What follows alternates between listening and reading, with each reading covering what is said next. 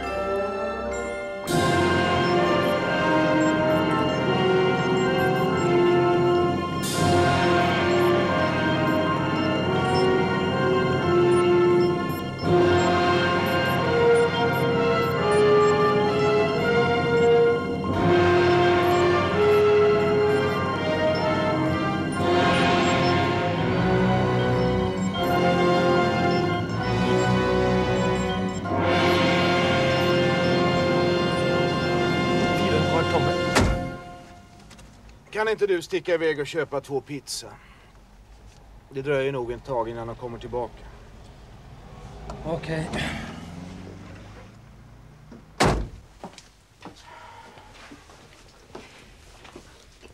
Her er bøkene du bestilte, professor Marco. Ja. Jeg fant dessverre ikke alle sammen, men ja, men eh, dagboken til Griftenfeld på Mokommen fant jeg vel. jeg er redd at den er blant dem Ja, Vi får prøve å se etter en gang til, for jeg mener alle disse andre bøkene kan jeg få hvor som helst. København, Stockholm, men akkurat dagboken er det bare dere som har. Det kan ta litt tid. Ja, Jeg går og tar en kopp kaffe, og så får de prøve å ha den her når jeg kommer tilbake.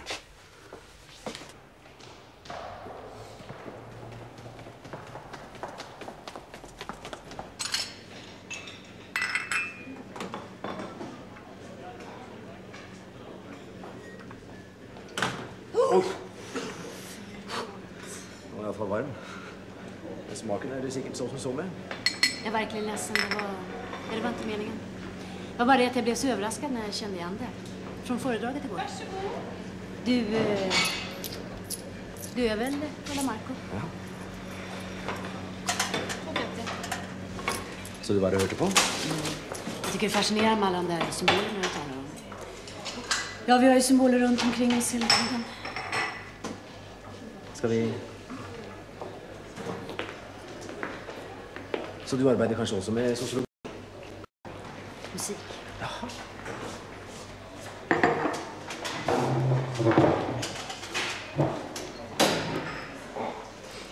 Det är tecken och symboler også, på sett og vis.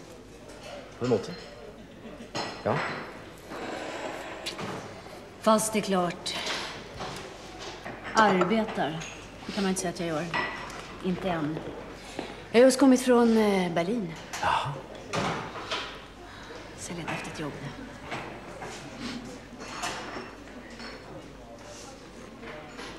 Min... Eh, min far. Han bor i Trondheim. Men er det ikke lettere å få jobb her i Oslo? Jo, det er klart, men eh, det skulle passe meg veldig fint og den utbildningen som jeg har om jeg kunne fått jobb som eh, assistent på Ringve f.eks. exempel. Men det er klart, det er jo mange Ring, Ringve, hva er det for noe? Jeg glemmer bort at vi er italienere. er det for at du det pratas så bra norska. Ringve er et eh, musikkhistorisk eh, museum i Trondheim. Det høres interessant ut, det. Jeg får faktisk mer og mer lyst til å reise til den byen. Jeg. Selv sitter jeg og leser en bok om Munkholmen akkurat nå. Ja, det ligger jo utenfor. Ja, den här. ja, utenfor. Ja, det minner meg forresten om at jeg må tilbake til bøkene mine. Det var hyggelig å, å hilse på deg. Vi ses kanskje, hvis jeg reiser til Trondheim. Ja, visst. Om eh, jeg reser til Trondheim. Du, Ja, får jeg låna din penna? ja. Jeg tenkte jeg kunne i alle fall skrive opp adressen. ja.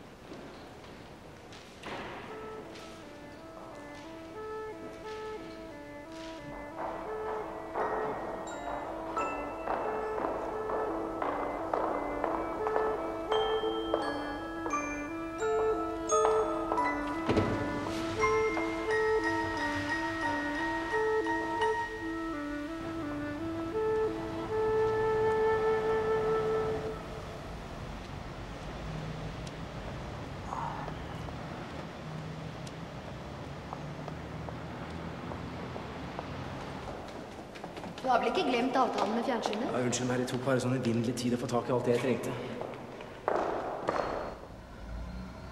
Der har vi dem. Eh, Jeg må innom hotellet og hente diktafonen. Det blir vanskelig å ta notater under avspillingen der oppe. Du er klar over at vi skulle vært der nå? Ja, jeg er klar over det. Men jeg må reise til Trondheim like etterpå. Jeg må ha med bagasje også.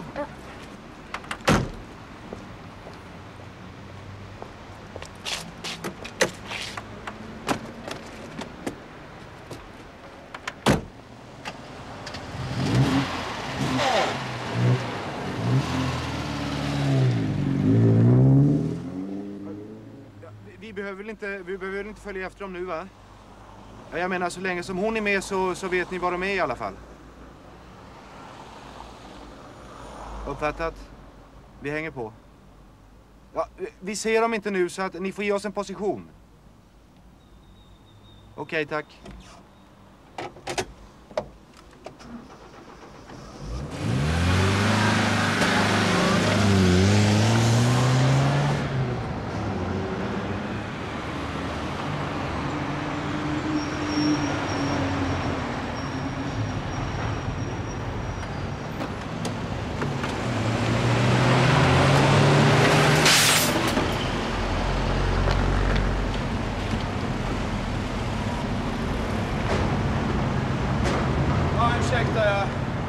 Sa Nyo.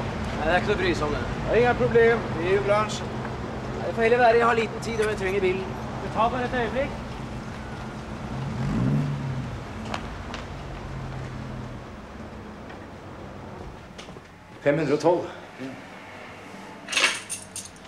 Hva som skjedde med bilen? Det er bare speilet på venstre side. En bagatell. Jeg venter her, jeg, Roland. Fint.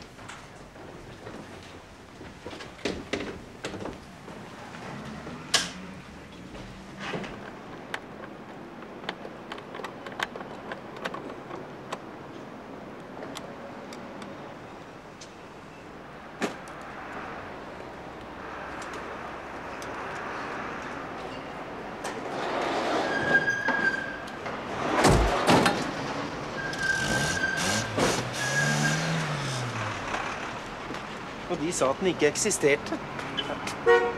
Jøss, hva var det som ikke han da? Aner ikke.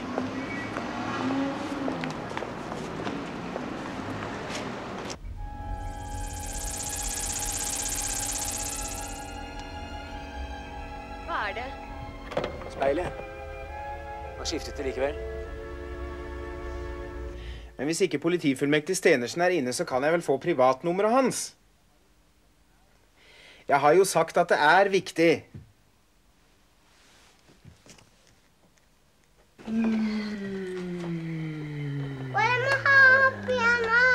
Skal vi ha bena da når vi lander? Alle ben ut. Vi skal lande. Du vet, de har, Den har ben når den står på bakken, eller på månen, eller sånn. Og når den kjører, så må den ta en benhakk som fly, flyene har hjul, vet du, som de tar i når de, når de kjører i luften. Sånn. Nå står den fint, hva?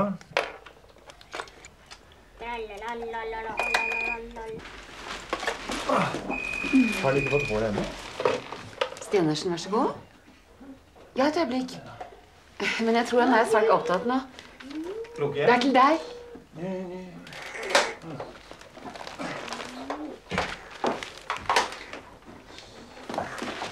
Hallo? Stenersen? Ja, jeg beklager at jeg forstyrrer, men nå har de vært her igjen. Hva? Vær litt stille da. jeg hører på hva mannen sier. Glassmesterne. De fra Glass og Speil AS. Jeg husker ikke at jeg var oppe hos dem i dag. Ja. Ja, De parkerte like utenfor. Ja, men jeg er sikker. Jeg noterte jo til og med nummeret. Hva, hva er nummeret? Hva? Ja, men hysj! Hva? Kan de være snill å gjenta det? Ja? Hva? Ja, vent. Eh, en gang til.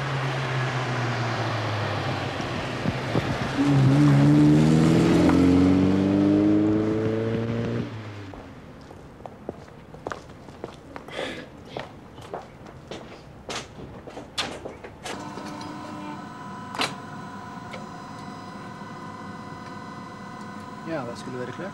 Da sitter ned. Ja, takk.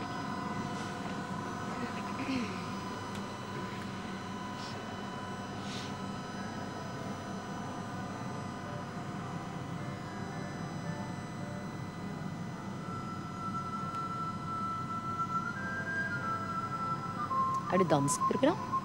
Ja, Griffenfeldt var nok mer dansk enn norsk. I Norge gjorde han stort sett ikke annet enn å sitte i fengsel.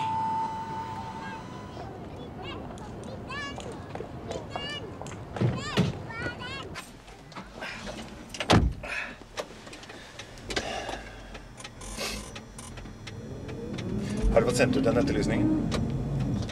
Mailapparatet er i gang igjen. Vet ikke hvem som eier bilen ennå? Det er et firma som heter Glass og Speil. Det finnes ikke noe sånt firma. Jeg undersøkte alle registrene. Det står ikke oppført noe sted. Det er ikke herfra byen. Å. Det er Trondheims firma.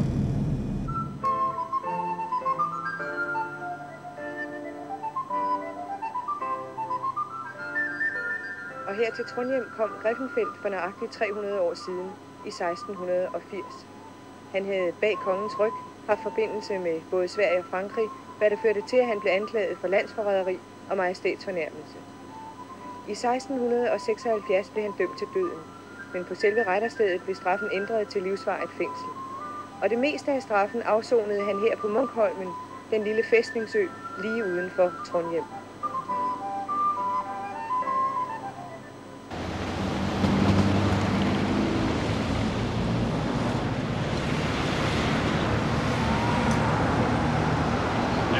Tango 3. Ettersøkt varebil observert til Kirkeveien, retning Ullevål sykehus. Vi fløy etter.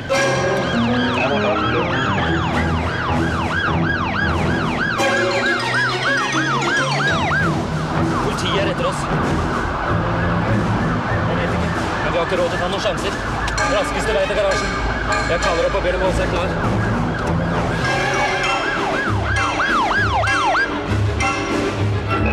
Samtlige enheter. Ettersøkt varebil på følges mot Ullevål stadion. Du behöver avskärmen.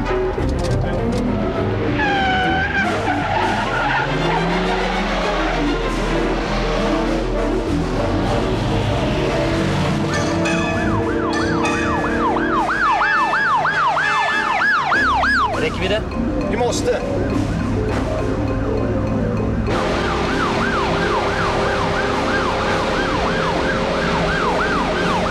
Prøve en snarvei.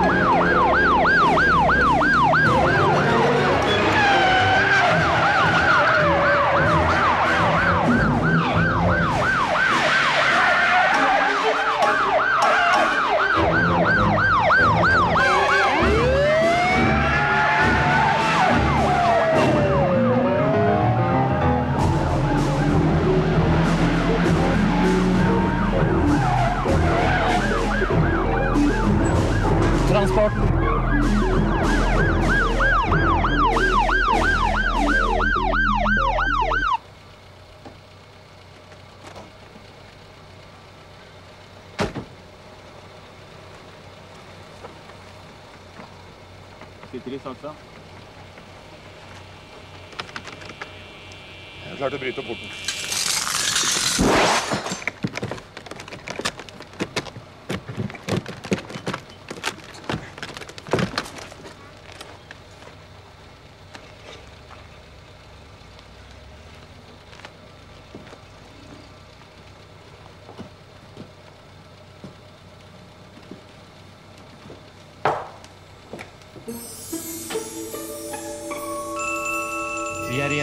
Port 22. Ut. Trondheim nådd. Transport vellykket.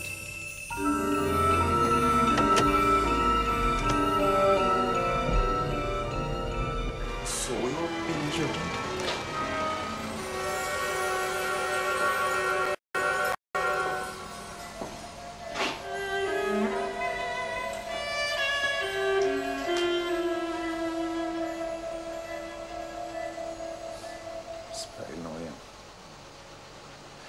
Undersøk garasjen grundig og finn ut hvem som eier den.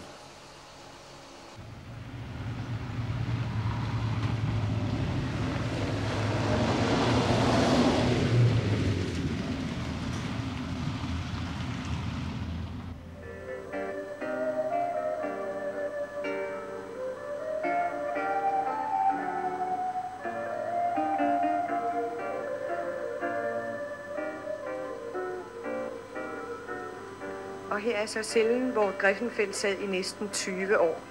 Mere præcist fra 1680 til 1698. Et hvert barn ved jo, hvordan han i sin store ensomhed vandrede hvileløst rundt og rundt om stenbordet, der var det eneste ordentlige møbel i cellen. Det her er i øvrigt det eneste, der er tilbage af den oprindelige celle, men byggede nemlig senere et krudtårn, der optog en del af pladsen. Griffenfelds stenbord har formentlig stået her. Og så er det, at overleveringen fortæller, at fangen kørte med tommelfingeren rundt langs med bordpladen, sådan at der i løbet af årene dannede sig en dyb fure i bordpladen. Ja, vi kalder det en overlevering, et savn, og det var det også indtil for ganske nylig. For et halvt år siden fandt amatørdykkere nemlig brudstykker af en stenplade uden for Munkholmen. Da pladen blev rekonstrueret, fandt man ud af, at den må have været Griffenfelds bordplade, og furen langs kanten er også fuldstændig tydelig. Mønsteret på bordet.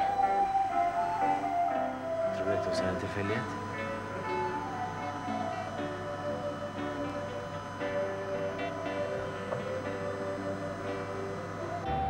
Vi vet at ni måste vara försiktiga.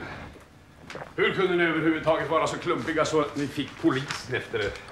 Vi gjorde bara det vi fick order om, ingenting annat. Allt gick som det skulle. Trodde ni igen?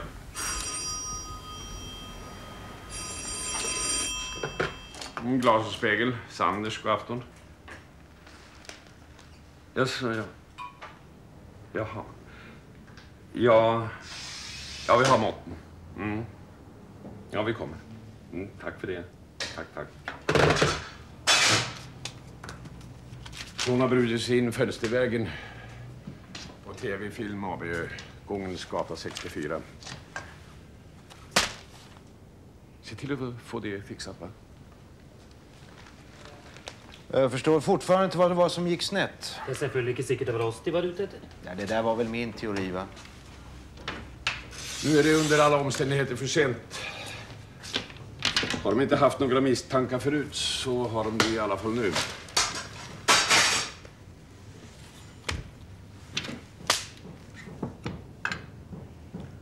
Alt de finner er jo en tom garasje. De kommer til å tro de har sett syner.